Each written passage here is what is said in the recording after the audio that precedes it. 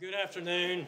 It, this gives me so much joy to see this kind of a turnout for uh, one of our lectures. This is the first face-to-face lecture that we've had uh, school-wide since 2020, the spring of 2020, so almost two years now. And uh, it really just does my heart good to see particularly so many students come out for an event like this. And hopefully you got copies of the book uh, the book author, of course, Pam Fessler, is here to talk to you today about the, uh, the book and her experiences, and um, uh, we're just glad you're here. I'm Tom Chandler, by the way. I'm your dean. Um, I've seen many of you around. You probably didn't know who, who's the guy in the tie, but that's me. I'm your dean. And um, we're really pleased, especially, to have with us today our keynote speaker, Pam Fessler. And Pam will be sharing with you some of the many lessons from her wonderful book, Carville's Cure, which many of you, hopefully all of you, have had a chance to uh, at least read some of it if you haven't had time to read all of it. Um, the book offers really a, a, very compelling account of the history of the federal leprosarium that operated in South Louisiana throughout much of the 20th century, and especially about the many human lives that it challenged that it touched, it treated, and it even healed. But before I offer a formal introduction of Pam, I'd like to take a moment to recognize and welcome her husband, Mr. Matt Cole. Matt, would you stand up and let folks see you?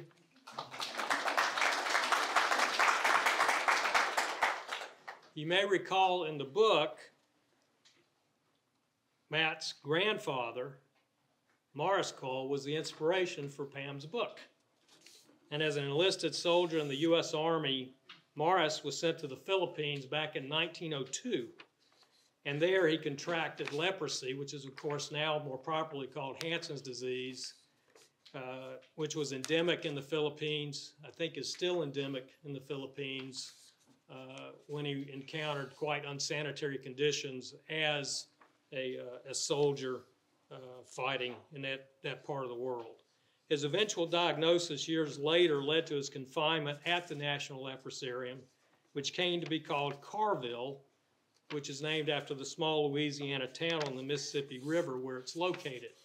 And some of you may have seen uh, or encountered uh, James Carville, a frequent commentator on NPR. He was Bill Clinton's chief political advisor back in the 90s before most of you were born. But uh, his family is the, um, uh, the, the, town of Carville is, is named uh, uh, after his relatives. And it's a small town on the Mississippi River just south of Baton Rouge. Now, Morris Cole's story, which was kept as a family secret for over 60 years, is what drew and inspired Pam to research the history of the leprosarium and to publish her outstanding book. And if you notice in the book, the book is extremely well referenced her research was impeccable uh, in producing this, this book. And she's going to be around. You can talk to her about that at the end of her, her talk today. And Pam would like for this to be very much a question and answer, give and take. So there's your opportunity to talk to an outstanding American author about what it's like to write a book uh, like Carville's Cure. So now I'd like to formally introduce Pam. Pam earned her bachelor's degree in American Studies from Douglass College up at Rutgers University in New Jersey, followed by a master's degree in public administration from the Maxwell School of Citizenship and Public Affairs at Syracuse University. Early in her career, Pam was a writer for Congressional Quarterly magazine, where she worked for 13 years both as a reporter and as an editor. She then became, be, began what would become a very distinguished career at National Public Radio, or NPR, where she was an editor and a very well known correspondent for more than 28 years. As a correspondent on the NPR national desk, Pam covered a breadth of issues that included things like voting rights, poverty, philanthropy, homelessness, homelessness, hunger, affordable housing, and income inequality, all of which, of course, you as public students know, carry with it or with them pressing public health concerns. Pam's research on the history of Carville's difficult development into the world's leading treatment and research center for Hansen's disease and the accompanying pervasive challenges of containing and treating leprosy in the 20th century resonates profoundly today, particularly as we continue to navigate all the anxiety, the stigma, and the divisions that have been created by diseases like COVID 19, like the AIDS, HIV epidemic, and even Ebola in Africa. So it's for all these reasons that I'm especially grateful and proud to have Pam join the Arnold School and the Arnold School family of students and faculty today and give us a talk about your book. So Pam, without further ado, if you come up.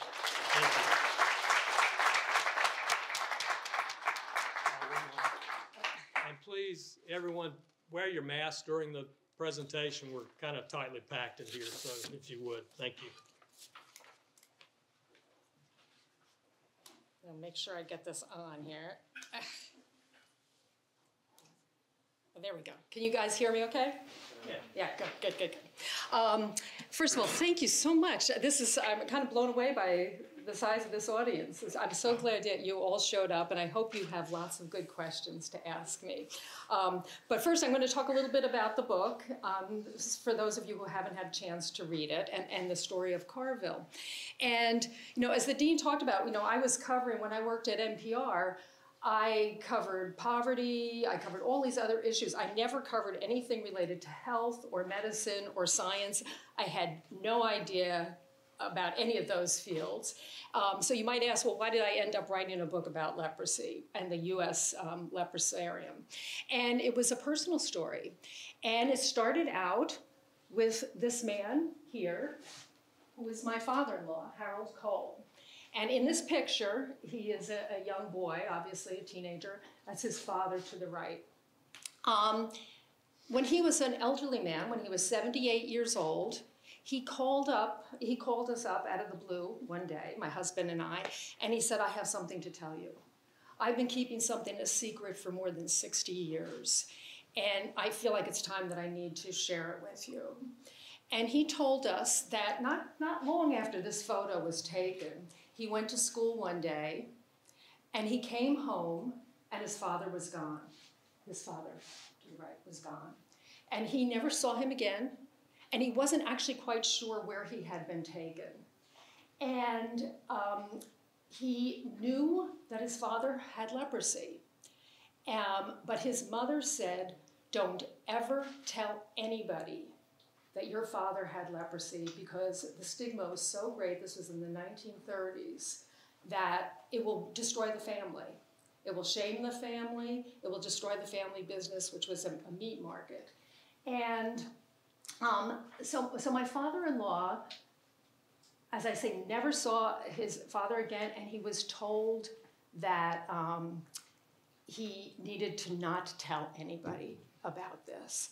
And it turns out that while he was at school that day, the public, public health officials had come and taken his father away to a hospital down south. And when he told us this story, we're like, you know, this is amazing. This was in 1998, they told us this story. So we went and started investigating to try and find out where his father had been taken. And that's when we discovered that the federal government, the US federal government, ran a hospital for leprosy patients, people in the United States who were diagnosed with leprosy during the 20th century. Hundreds, if not thousands of them, were confined at this hospital in Louisiana called Carville. And let me just show you. So we actually decided to take my father-in-law down there and to see it because it still existed in 1998. And we came and we realized this is what it, this picture is an older picture, it's the 1950s, but it, it doesn't look that much different today. So there was this huge facility.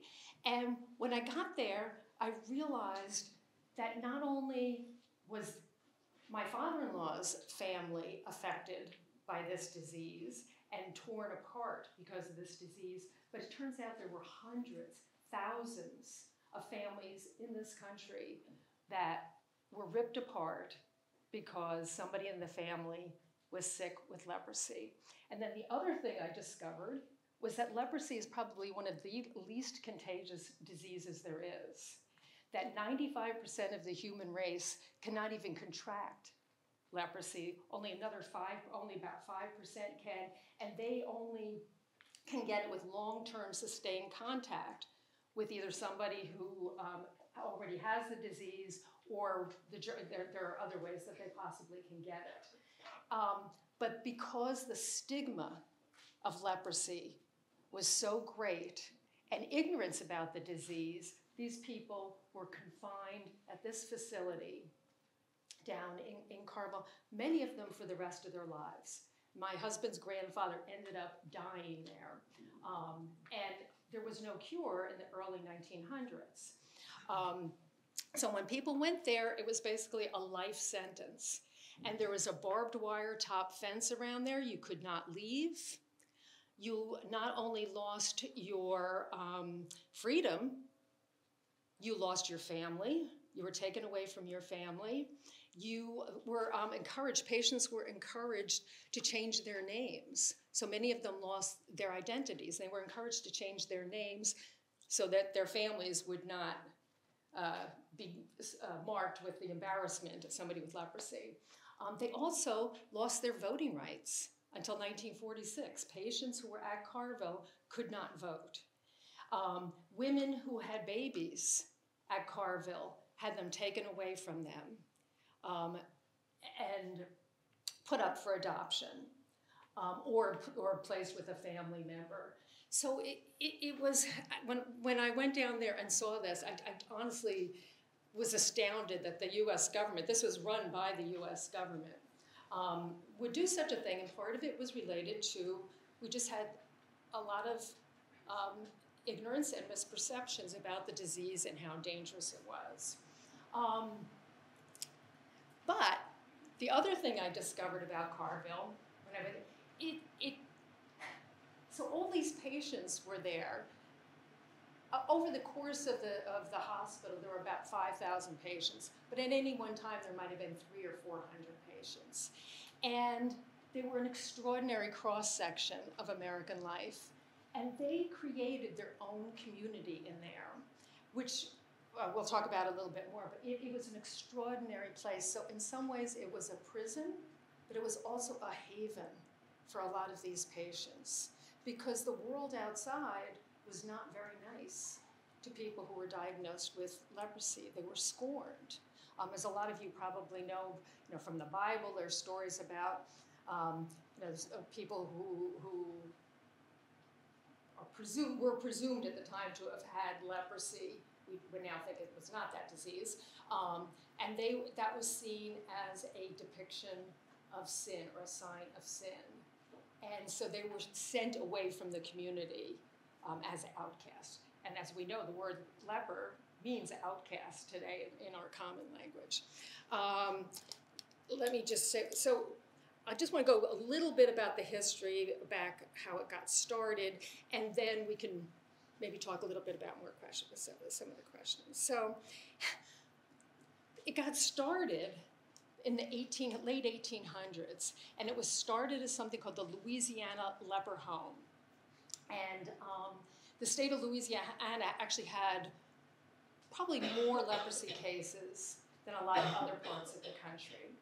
And around the turn of the century, there was a lot of hysteria, not hysteria, but there was a lot of concern, growing concern about germs and, and this recognition that germs could, in fact, cause diseases. And people started getting worried about immigrants, especially, bringing in diseases.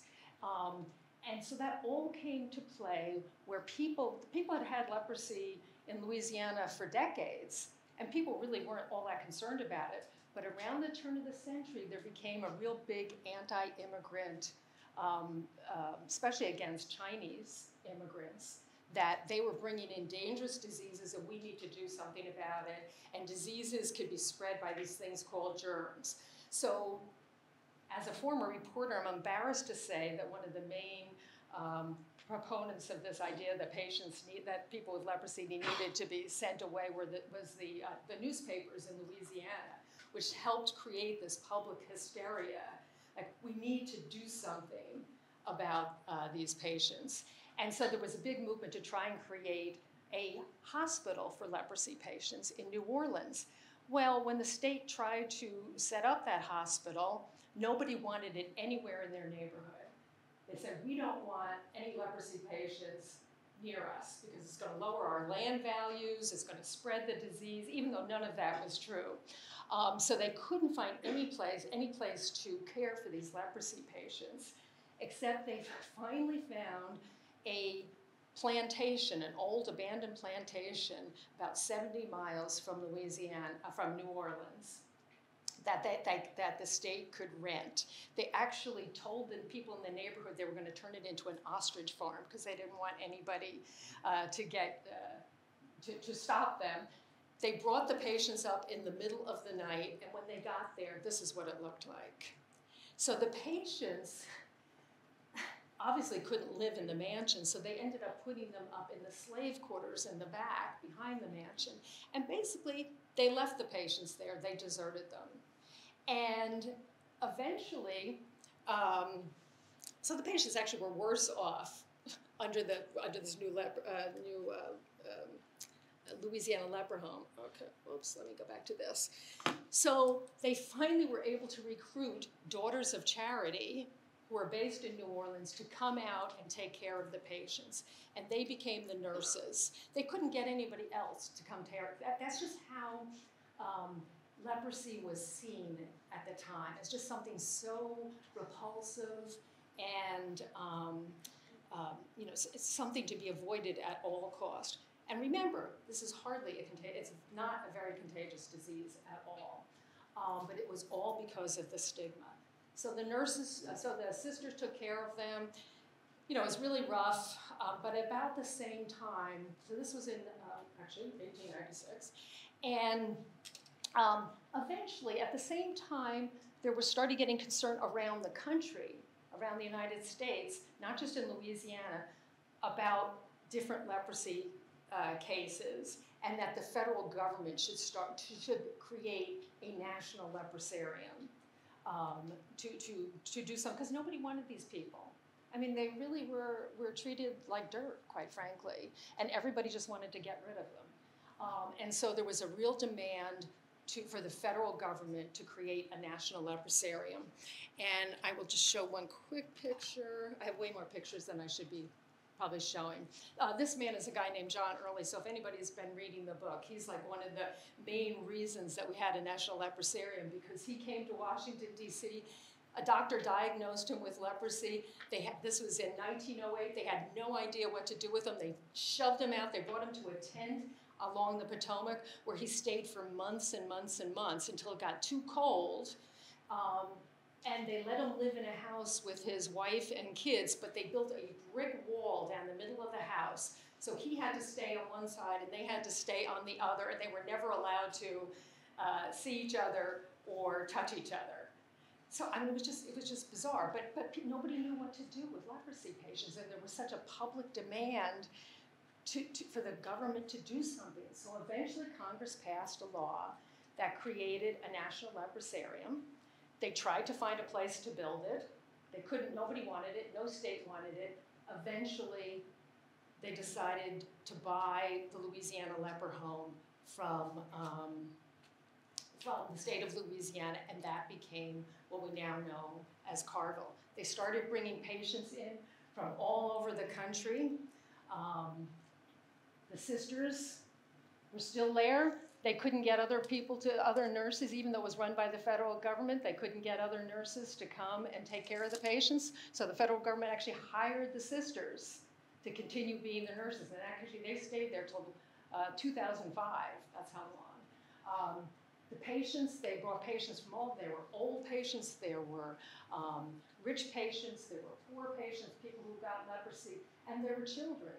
There were children who were brought, who were diagnosed with leprosy. They were taken away from their families and they were brought to Carville. Um, but, okay, what I was, what I was going to say is what happened is then this community started. There was no cure for the disease. So basically, these people realized that when they were uh, sent to Carville, they could spend the rest of their lives there. But, as I say, they started building this community. And they started um, having plays, they started having music groups, Um, the federal government actually encouraged this because they realized if they didn't, people would run away, if they didn't let people have kind of a normal life. Because it was Louisiana. They had a Mardi Gras uh, every year. So big, that was the big deal. They had um, floats, they had a Mardi Gras parade. They were trying to let it, people real, um, sort of live as normal life as possible, but inside, behind barbed wire fences, away from their families. Um, they had a baseball team. Um, they had, uh, you know, they had clubs, they had bars. And one thing I want you to see about this, this is, we're talking about Louisiana, rural Louisiana in the 1930s, 40s, and 50s in the Jim Crow South. Inside Carville was incredibly integrated.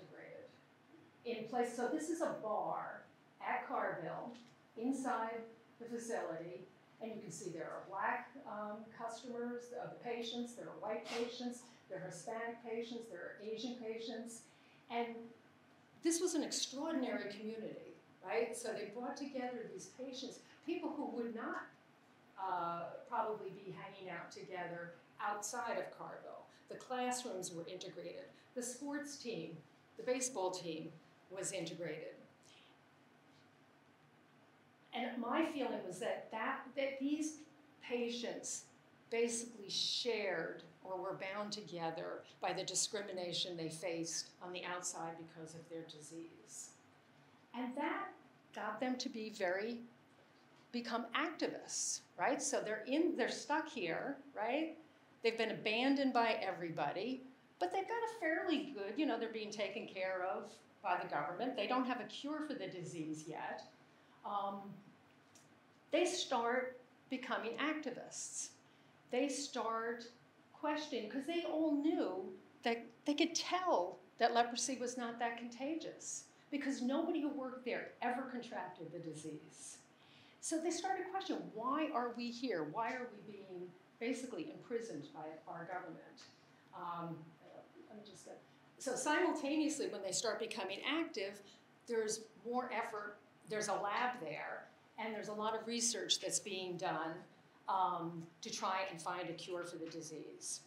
And the patients were pretty receptive to trying almost everything. I mean, they tried um, uh, heat, uh, X-ray therapy, um, any any kind of solution um, or medicine that anybody thought might have a chance of curing this disease because they wanted to get out. Because they realized without that, they were stuck there for the rest of their lives. So, what happened is um, that one of the chief medical officers, um, his name was Guy Faget, in 1941 came to Carville and he was an expert in tuberculosis. And there's a lot of similarity between tuberculosis and Hansen's disease, which is actually the, the current name uh, for leprosy. And there was a drug that was being tested on TB patients uh, called Promin, and it was not working very well. But he thought, well, let's see if it works on leprosy patients. And so they decided to see if they could get volunteers at Carville to try this drug. And um, this is Sister, Sister Hilary Ross, who took photos of patients. She was a, quite a photographer. She also was the chief pharmacist at Carville. And she chronicled people's progress. Well, lo and behold, the Promin started to work. And I just showed this one photo here. It didn't work immediately, it didn't work for everyone, it took time, but it was the first sign that anything uh, that there was a potential medication and treatment for this. So this woman, who was a patient at Carville, this is 1940. She has a pretty advanced case of leprosy. Um, by the way, a lot of patients, you wouldn't, you look at them, you know, like half of you could have leprosy and we wouldn't even know. Uh, this is a very advanced case. Um, this is her part.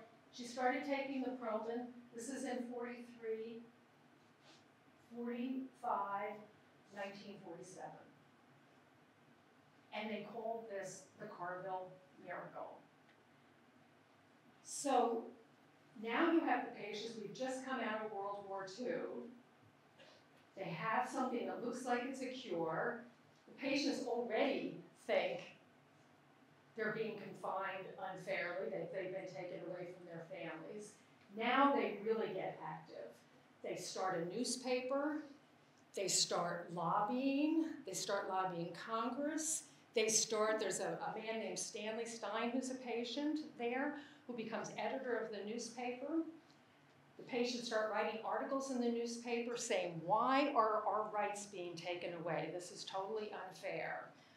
The American Legion, because there were quite a few um, um, veterans there, they adopt Carville kind of as a cause, and they finance the newspaper. They start distributing it to their members around the country. Pretty soon, this newspaper has a circulation of 80,000. And the federal government starts getting a lot of pressure. You need to shut this place down. Now, it took quite a while, but after about 20 years, the federal government did realize that there was no reason to keep these patients here, that they could be treated as outpatients. So they decided that it's time to get the patients out, to send them away, and shut down Carville. So guess what happens then? Some of these patients have been there, like that little boy on the tricycle, for decades.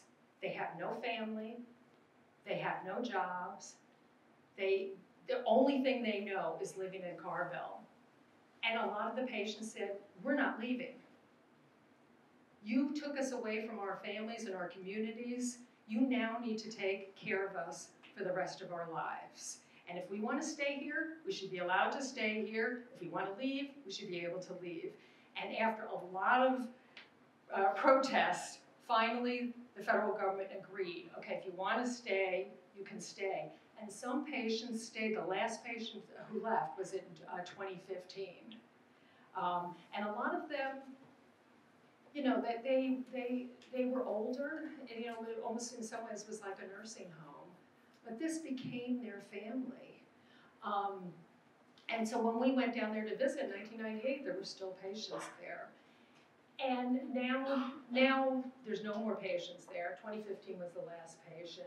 Most of the people have actually died out or, or have left. You know, they were people who just decide to leave. But the federal government still treats people who have car, um, Hansen's disease who are diagnosed. There's still 200 new cases a, a year in the United States. But around the world, there are 200,000 new cases a year, mostly in India, Brazil, Africa. And um, the stigma that we now have a cure, that, you know, people can be cured. Uh, we have a, a, drug combination. They basically, if they get this drug, within 48, 72 hours, they will no longer be contagious. They can be have the um, germ completely um, eradicated from their body within maybe a year or so, uh, if the case is not too advanced. But people still don't seek treatment because they're afraid of the stigma. So while the disease has been cured, the stigma still remains. Um, and with that, I'm, I'm, happy to answer any questions. I, I, I think uh, one of the interesting things would be about, you know, now that we're dealing with our own uh, epidemic or pandemic, I'll say good afternoon, everyone, and thank you for being here. And I want to offer my thanks to Ms. Fessler for being with us and for bringing the images and the individuals from Carville to life for each of us. I'm Lee Pearson. I'm associate, an associate dean in the Arnold School, and I have the privilege of moderating the questions for this afternoon. I have some of my own, but I also have a microphone, and I'm sure one of my colleagues would be willing to carry the microphone to you if you have a pressing question for, for Ms. Fessler today. This is a rare opportunity to talk to an author um, about a book that's so relevant to public health and to be able to hear her unpack uh, the information for us. My first question to you really comes from the prologue of your book, uh, where you mentioned that those who were diagnosed with Hansen's disease had an enemy, of course, of a physical illness, uh, but also a social one. Um, and I'm wondering if you would uh, describe for us the social ills that really you discovered in your research that were faced by those with, with Hansen's disease. not only the patients, but their, their families as well, as you referenced. Yeah, I mean, so, so if somebody was diagnosed, especially in the, the, the first part of the twentieth, twentieth century, if they were diagnosed with leprosy, um, and somebody found out about it, they could be pushed out of their jobs, they could be, um, uh, somebody would, um, uh, you know, um, they, they might even, if they were kids and they were in schools, they'd be kicked out of school. There were these two boys in Newark, New Jersey, who were diagnosed in the uh, 1920s. When they were found out that they had the disease, not only were the boys taken out of school, they were sent to Carville. The school burned all of the school books in the school and the desks in the entire school because they were so worried that this germ um, you know, would, would, would spread. And um, people's houses were burned down, and it was mostly fear of the disease because people really didn't know, honestly. You know, there, there was a lot of ignorance about it, and they, they read all these stories and they thought, you know, this is terrible, we could get this disease. And as you can see, in, in many ways, it is physically, it can be physically frightening um, and repulsive to many people. So people didn't want to get that, and you also then had the religious connotations that people who were religious, a lot of them thought this was a reflection of, a, of somebody who had done something really bad. And this was a sign that God was punishing them. And so the stigma was really, was really terrible. And quite frankly, I think still exists today in many ways. Speaking of, of today, I'm curious as to what parallels you see between the response to Hansen's disease and our current response today to COVID 19. And I'm also interested in what lessons you think we still have yet to learn uh, from uh, the experiences a century ago to what we're experiencing today. Um, well, there, are a couple of things. So, one of the first things that struck me when COVID, um, I, I started this book before I knew there was ever going to be a pandemic. Um, and then it got published right in the middle of the pandemic. Um, was how, like the first, the first response was almost to demonize the victims, to demonize the patients, that somehow it was the patient's fault that they got sick. So you had that with leprosy. Some people had that initially, certainly uh, with AIDS, when AIDS was first um, uh, discovered, people blamed the victims. You know, they got AIDS because of their you know lifestyle choice, um, and that had nothing to do with the public at large. I think there was a little bit of that with COVID initially. There was a lot of use of that disease to um, discriminate against certain groups of people, right? Um, Asian Americans, already, you know, we, we've seen so many um, examples of them being somehow blamed for this disease. You know, and, and, as though that were a way to respond, a, a, a, a productive way to respond um, to this disease. And the use of leprosy to condemn Chinese Americans who came to the United States around the late 1800s and the early 1900s was extraordinary. And mostly, it was by people in labor groups who were worried about these Chinese immigrants taking away their jobs.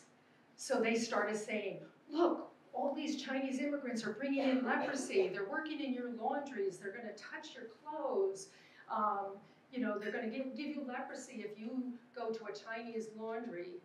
Um, it, it, was pretty extraordinary. And then, of course, I heard a, lot of the echoes of that uh, when we first had, you know, the China virus or the Kung flu. Was this, this trying to deal with a disease by characterizing it as some evil thing, you know, that, that somebody had, was responsible for.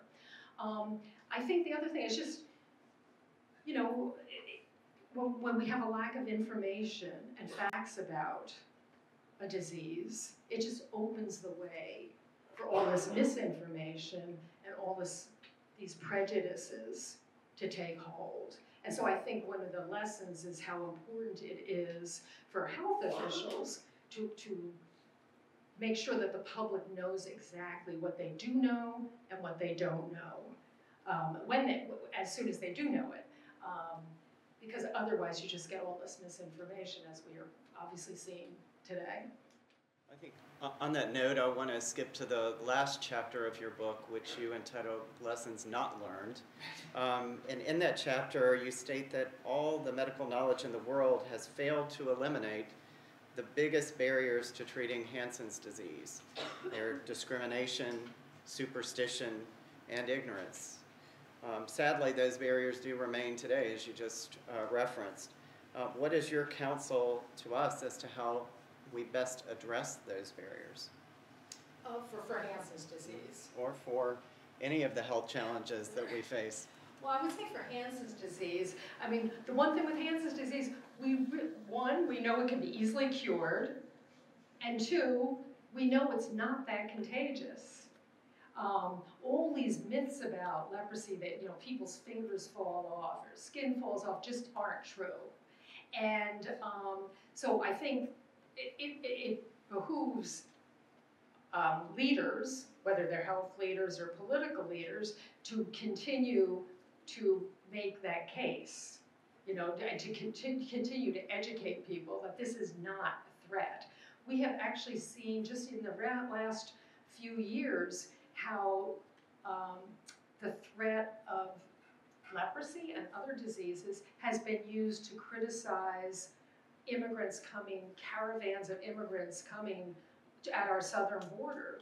There are people in this country who've said they're bringing in all these dangerous diseases, including leprosy.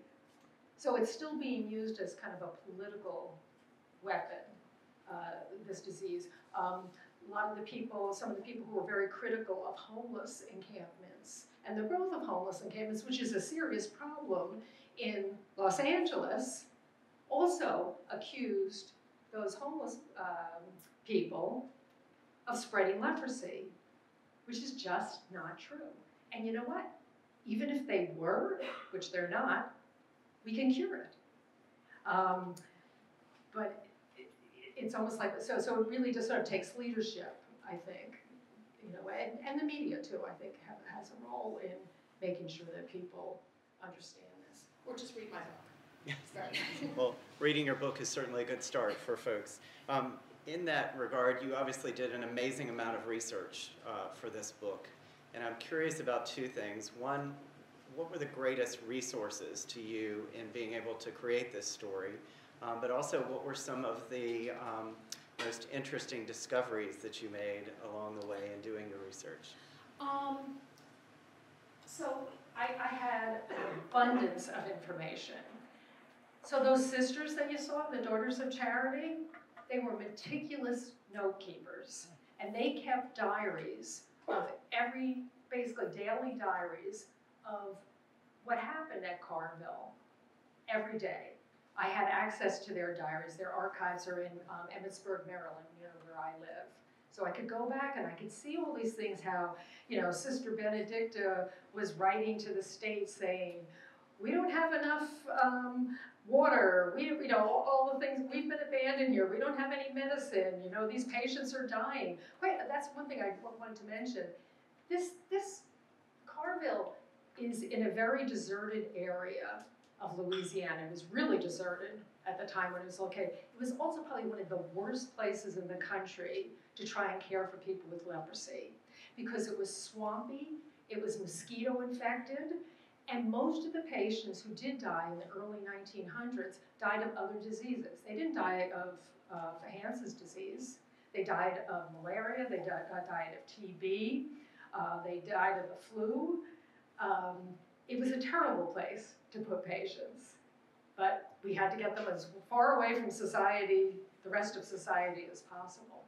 Um, so anyway, the nuns, I had the sisters, I had tons of information. The patients, that newspaper that I talked about, the Star that the patients wrote, um, that newspaper came out twice a month for for decades, and it actually still exists today. And the patients depicted their daily lives. There were just tons of articles about all their parties and baseball games, um, their opinion pieces about whether or not, um, you know, they how they should be treated, about the scientific discoveries. So that all existed. I had access to that. Several of the patients, Stanley Stein, um, a, a couple of other, that John Early, the guy in the tent, he ended up in Carville, but he wrote a memoir. Um, so I, I was able to get access to those, which were great. And then there were still patients alive when I started researching these books. A few, you know, elderly patients, and I was able to interview most of them before there were 13 who were still in the care of the federal government when I started research that in 2016. There's only one more left, but I was able to interview all those other people, um, you know, about um, about what life was like at Carville. So I really had just tons and tons of, of information.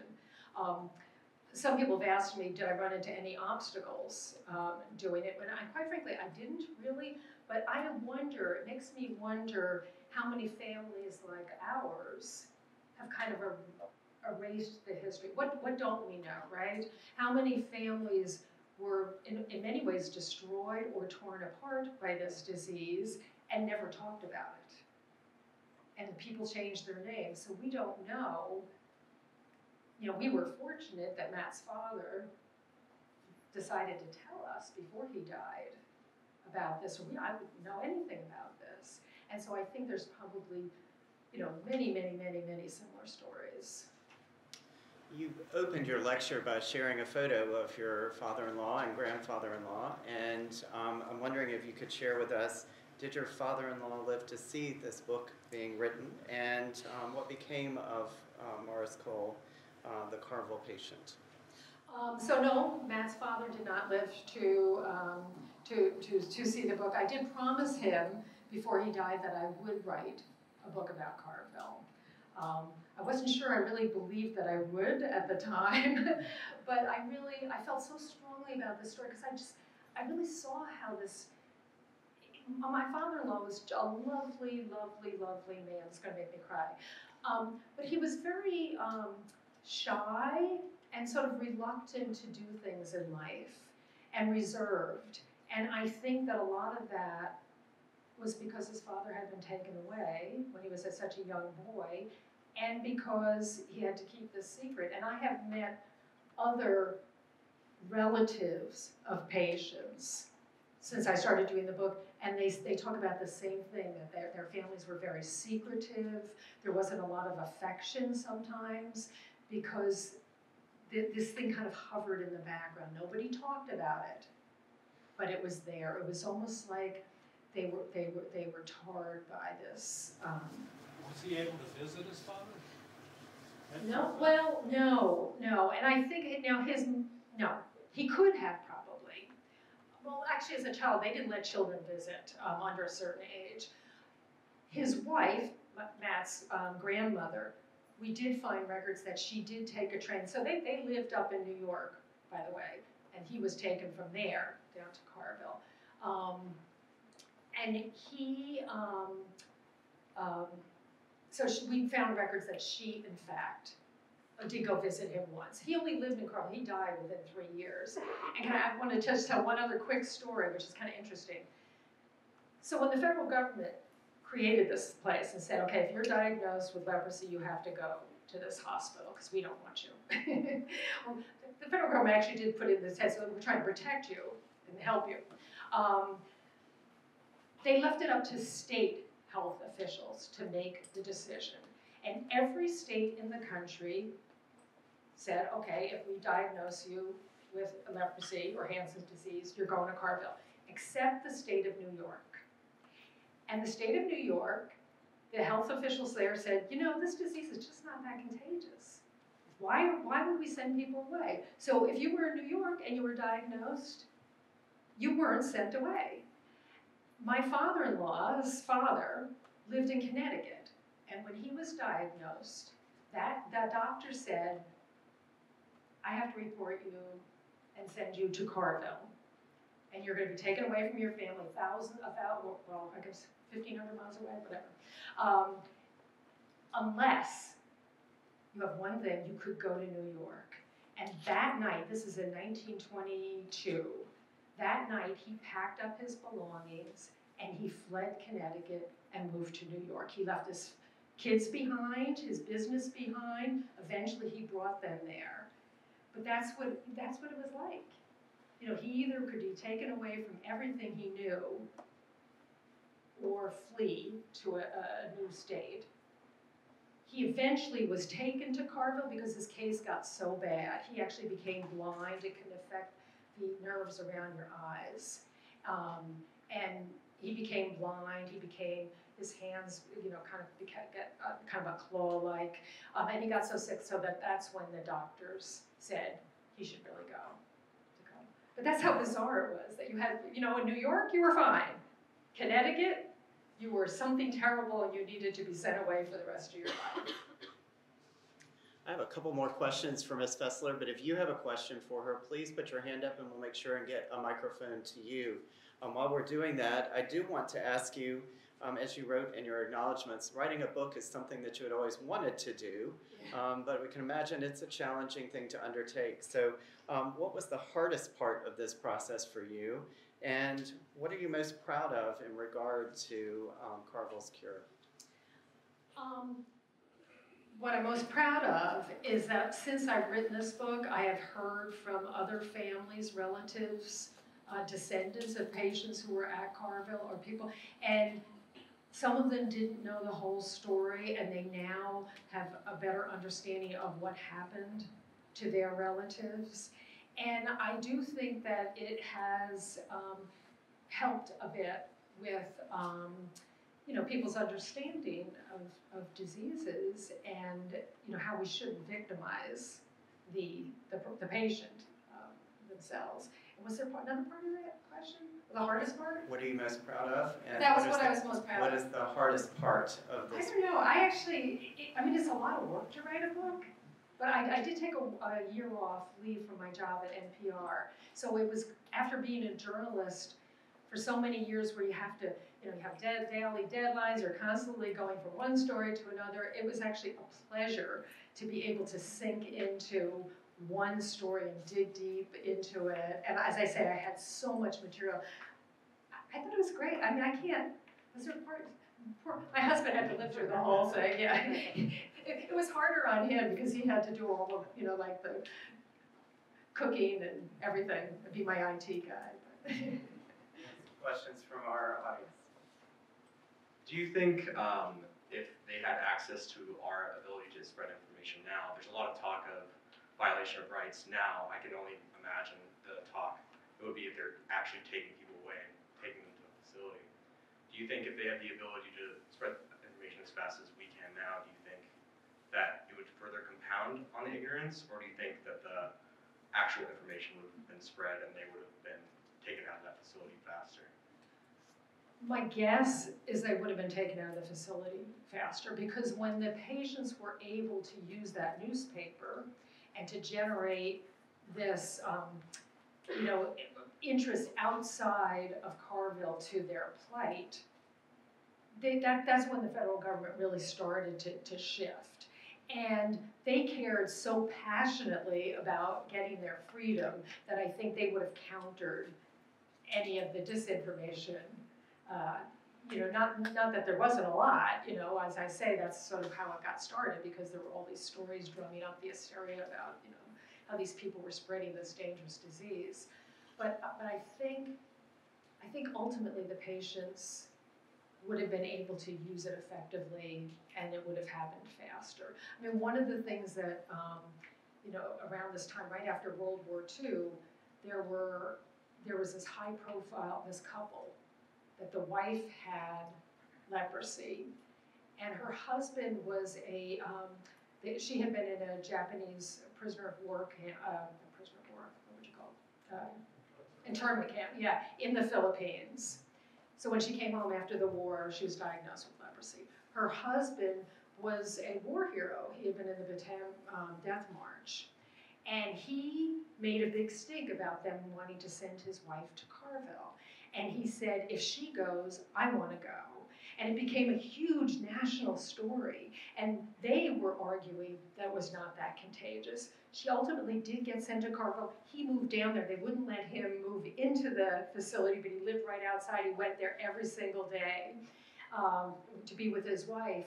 But they became huge activists. And that's when they were, uh, the patients got their right to vote back because it was so ludicrous that these war heroes were not able to vote. That the state of Louisiana, which had imposed the law in the first place, I guess maybe we should change it. Yeah, um, so, yeah, this shocked me because I cover voting for NPR. I was like, I can't believe this. Why would they take their, away their right to vote? So state of Louisiana had a long time law that if you were a, um, a- an inmate at a state-run facility, usually they meant prison, prisons, um, also, um, uh, what they called, you know, mental institutions at the time, um, and the leprosarium, and they called them inmates. They didn't call them patients. Um, they, even the federal government called them inmates at Carville. You were not allowed to vote, and they just threw them all into one. Uh,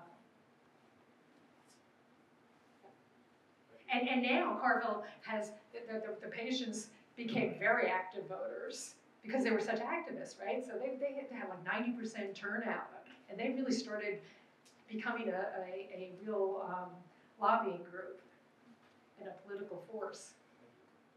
We do have time for a few more questions. Um, so if you have a question, please place, put your hand up and we'll bring a microphone to you. Um, most of us in this room are either currently public health professionals or will be public health professionals. So I'm curious, Ms. Fessler, as to what is the most important lesson that you would share with us from Carville's Cure um, to guide our work in public health?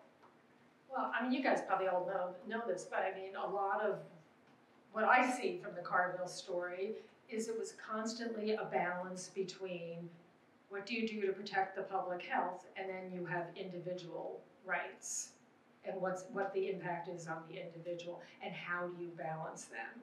Now, in Carville, or the case with Hansen's disease, it was distorted because people thought they were protecting the public health by isolating these patients when in fact they weren't. Um, and so these patients having their rights denied was really terrible, right? Because it was they're being denied for no particular reason. So to me, it's that. It's just how do you balance the two? And I think the other thing is to recognize that all these decisions that you make not only have an impact on the community, but they have this impact on the individual, tremendous impact on the individual, but also their families, you know, their children, their grandchildren. I mean, I really saw that with writing this book, that it, it, it kind of had this ripple effect. Um, this, that this one decision made generations later still had an impact on, on, on these families. Um, it was very, one thing I do want to kind of add real quickly is that um, did I mention that little boy, uh, Oscar Dempster, who was there when he, he was admitted at seven? He died at Carville in 2010, and he was 91 years old, and he spent his entire life there. We have another question from the audience. You mentioned that you brought your father-in-law to Carville. What were some of the emotions that he felt when he was there? Um, okay, now I'm going to cry. I think. um, it was amazing. I mean, he. I told you he's kind of a shy, quiet. kid. So when we went there at first, you know, he was just really quiet, and there were still some patients there. There was a museum there. We actually saw some things that his father had written. They had some old ledgers. Um, but by far the most emotional thing, um, he's the, the family's Jewish, and his father, there were many patients who were buried at Carville. There's a cemetery there today where many of the patients, but a lot of them were buried elsewhere. He was buried in a small Jewish cemetery near Baton Rouge. And so the public health nurse who was guiding us around had discovered where my father-in-law's father was buried, and she drove us out there. And we went to this tiny little cemetery, and we walked in, and way, way in the corner, kind of abandoned. And I think it was because he had leprosy that even in the cemetery, they kind of pushed him away from all the other uh, gravestones. And we went there, and, and to watch my father in law at age 78 to see where his father had finally ended up was just extraordinary. I mean, it was just. I, can't I can't even explain it. And and I think it was that moment that really made me want to write this book. Um, you know, for he had known for 63 years where his father had gone, and there he was. And I guess I can tell the other part of it. Should I go on to the? So over the years as a reporter at NPR, I went down to New Orleans a lot and Louisiana to cover stories. And every time I would go, if I could, I would go to that cemetery to, to visit. And I noticed it wasn't being cared for very well. It was all overgrown. And we talked to the person who ran the, the cemetery, and they said, Oh, yeah, we'll, we'll clean it up. And then one time I went down there, and there was garbage all over it. And um, it looked like actually somebody was sleeping near there. It was old sleeping bag. And I told Matt, and we said, well, We have got to do something about this. Well, Morris, the patient, was a, a veteran, a U.S. veteran. He had contracted this, we think, in the um, uh, Philippines in 1902 as a soldier. So, as you know, in in the service of the country, he had contracted this disease. So Matt went to see if he we could move his remains to Arlington Cemetery. And through a very, very, very, very long process, we were able to do that. And then in 2016, in December of 2016, we had a had a, uh, burial for him and a service, a full memorial military service to bury him at Arlington Cemetery. Actually, he's in the columbarium. It was his remain, his um, cremated remains, and it was extraordinary. I mean, the military they treated it almost like it was somebody who had just died. So here was somebody who had fought in a war 114 years earlier, who had died 80 years earlier, and they were treating it like, you know, it had just happened, and they were honoring him. And they did it. They, they, they gave us the flag and they said, This is for the service, you know. It, we, we're a grateful nation for the service of this man for his country. And so for us, this was just a, an extraordinary way to round out this story, right? So a man who contracted this disease in the service of his country, then taken from his family as a result of that disease by that same government, now being honored uh, by, by, by the government and by, by the nation. Thank you for sharing that. And for those of you who have yet to read the book, if you can't uh, make the time to read it in its entirety, read the epilogue and read the account of that experience at Arlington. Um, because Ms. Fessler does an amazing job of putting you in that moment, and you will feel the emotion um, that she has just shared uh, with us. So I um, so enjoyed reading your book um, because for me, it's not a book about leprosy, it's a book about the enduring nature of the human spirit. And I'm grateful that you chose to write this book. I'm grateful that you brought the stories of, of your family uh, to us and for sharing your afternoon with us. We are all grateful. So I'm going to ask to, you to please join me in giving Ms. Fessler a round of applause.